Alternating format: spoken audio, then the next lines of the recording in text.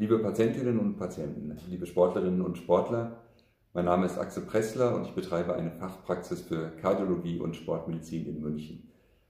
Wie Sie wissen, sind wir seit Wochen mit der schweren Corona-Krise konfrontiert und gerade in diesem Bereich stellen sich auch für Patienten mit Herzerkrankungen oder auch für unsere Sportlerinnen und Sportler viele Fragen, wie man damit am besten umgeht, wie man sich verhält, welche Risikofaktoren es vielleicht gibt und auf was man ganz besonders in diesen Zeiten achten muss.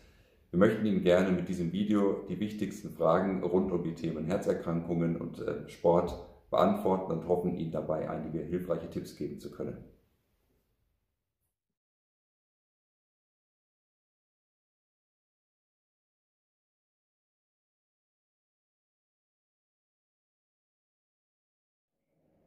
Herzerkrankungen werden in Zeiten der Corona-Krise immer als ganz besondere Risikoerkrankungen genannt.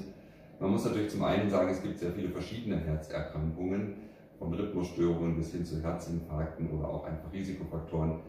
Ganz, ganz wichtig ist sicherlich, dass Sie weiterhin Ihre Medikamente so einnehmen, wie sie vom Arzt verschrieben worden sind, so dass die Erkrankung auch weiter gut behandelt wird.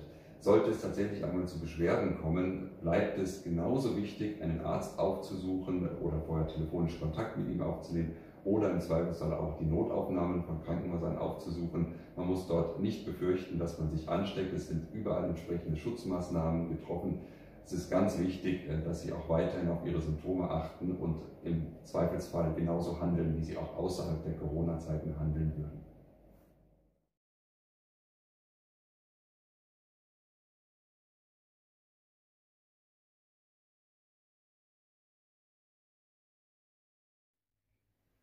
Der Bluthochdruck wird tatsächlich ganz besonders als Risikofaktor genannt, sodass man fast den Eindruck äh, kriegt, ähm, das sei sozusagen eine der schlimmsten Erkrankungen, die man haben kann, wenn man sich mit Coronavirus ansteckt. Ähm, man darf natürlich nicht ganz vergessen, äh, Bluthochdruck ist überhaupt eine sehr häufige Erkrankung, gerade in den höheren Altersgruppen, sodass das sicherlich auch einfach manchmal statistisch etwas verzerrt wird. Es haben eben sehr viele ältere Menschen auch Bluthochdruck und leider erkranken auch viele ältere Menschen ganz besonders am Coronavirus. Grundsätzlich gilt für den Bluthochdruck das Gleiche, was für die anderen Herzerkrankungen gilt. Es muss einfach Sorge getragen werden, dass der Blutdruck gut eingestellt ist, dass er nicht entgleist, ähm, dass Sie sich dabei wohlfühlen. Deswegen auch hier der Appell, nehmen Sie bitte Ihre Medikamente weiter ein und achten Sie auf einen gut eingestellten Bluthochdruck. Das ist das Wichtigste, was Sie tun können.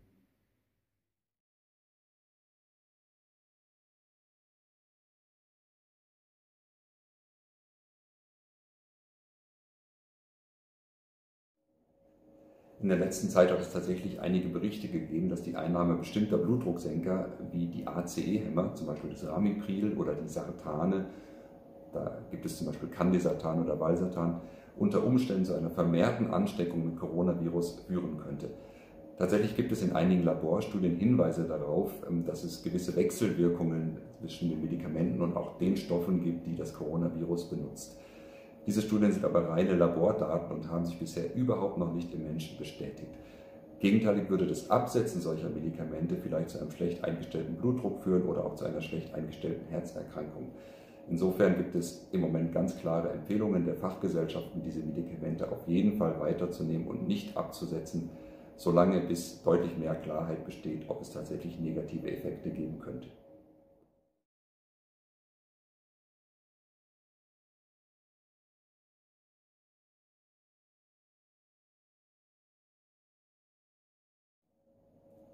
Als Risikoerkrankungen gelten letztlich alle chronischen Erkrankungen, die zu einer Schwächung des Immunsystems führen. Bekannteste Beispiele sind hier der Diabetes mellitus, also die Zuckerkrankheit, aber auch Krebserkrankungen oder auch Rheumaerkrankungen. Auch das Alter hat sich leider als besonderer Risikofaktor herausgestellt, sodass alle über 65-Jährigen als ganz besondere Risikogruppe gelten. Lungenerkrankungen sind deshalb so gefährlich, weil das Coronavirus gerne leider die Lunge befällt und schwere Lungenentzündungen machen kann, sodass sich zum Beispiel auch das Rauchen hier wirklich nicht mehr anbietet, vielleicht sogar die Gelegenheit genutzt werden kann, damit aufzuhören. Wichtig ist, dass diese genannten Risikogruppen ganz besonders auf sich aufpassen und auch die Angehörigen dieser Patienten dies beachten. Bleiben Sie zu Hause, schützen Sie sich weitestgehend vor Kontakten, damit bei Ihnen als Risikopatient es nicht besonders zu einer Infektion kommt.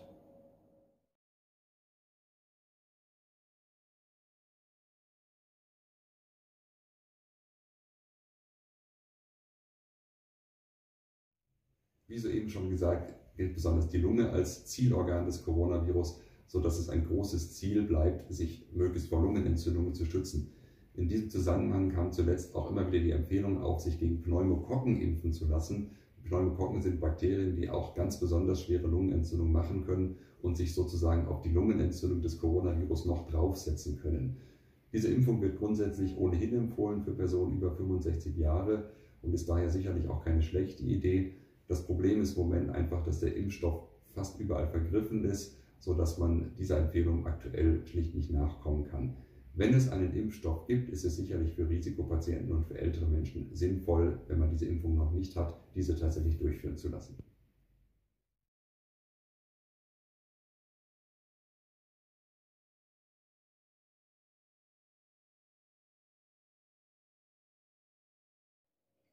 Sport ist und bleibt eine der gesündesten Maßnahmen, die man überhaupt machen kann. Und das gilt natürlich auch für die Zeit der Corona-Epidemie. Nur müssen wir unsere Schwerpunkte da einfach etwas verschieben. Die Ausgangsbeschränkungen zwingen uns dazu, sportliche Aktivitäten in das Haus zu verlagern oder auch in den näheren Bereich um das Haus herum. Daraus kann man schon schließen, dass sich Aktivitäten wie Walking oder Joggen weiterhin sehr gut ausüben lassen. Ganz besonders ähm, gut bieten sich jetzt auch Übungen zu Hause an, sofern man entsprechende Geräte hat oder entsprechend auch äh, Übungen aus dem Internet äh, sich anschauen kann. Es gibt ja derzeit eine ganze Menge Anbieter, die Workouts und gymnastische Übungen für zu Hause anbieten. Auch wir werden das über diesen Kanal in den nächsten Tagen tun, sodass Sie auch von uns Anregungen dazu kriegen, wie man sich gesund betätigen kann. Es bleibt wichtig, Sport zu machen. Die Lunge wird dadurch belüftet, das Immunsystem wird gestärkt und deswegen ist es eine ganz wichtige Maßnahme, dass man auch in diesen Zeiten sich regelmäßig bewegt.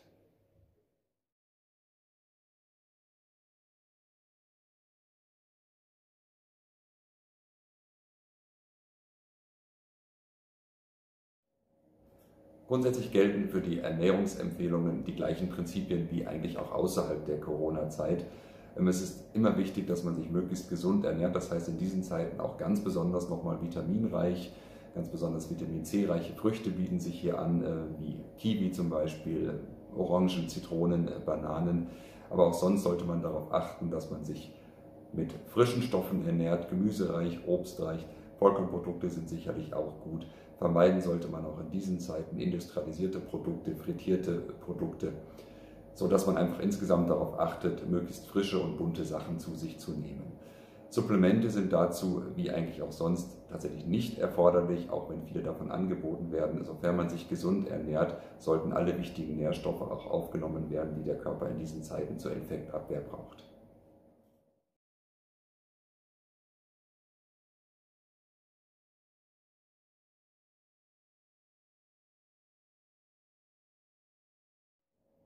Mittlerweile gibt es auch eine steigende Zahl von Menschen, die das Coronavirus glücklicherweise überstanden haben.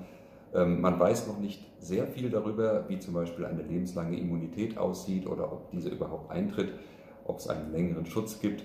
Darin wird aktuell viel geforscht. Was wir aber wissen, ist, dass das Coronavirus ähm, in vielen Fällen auch Lunge und Herz relativ stark angegriffen hat, sodass es sicherlich wichtig ist, ganz besonders wenn Sie zum Beispiel eine sportliche Aktivität wieder intensivieren wollen, sich auch dahingehend untersuchen zu lassen, ob Herz und Lunge und auch andere Organe diese Erkrankung wirklich auch gut überstanden haben. Liebe Patientinnen und Patienten, liebe Sportlerinnen und Sportler, wir hoffen sehr, dass wir einige wichtige Fragen rund um die derzeitige Corona-Krise für Sie beantworten konnten und einige hilfreiche Tipps dabei waren. Wenn Sie Fragen haben, schreiben Sie diese bitte in die Kommentare. Und ansonsten können wir nur sagen, bleiben Sie gesund, achten Sie bitte sehr auf sich, befolgen Sie die Anweisungen, die uns die Experten geben. Nur so können wir einen hoffentlich sicheren und guten Weg aus der Krise herausfinden.